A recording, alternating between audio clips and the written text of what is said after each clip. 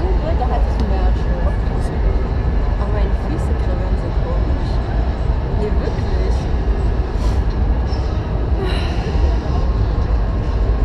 Also die Aussicht.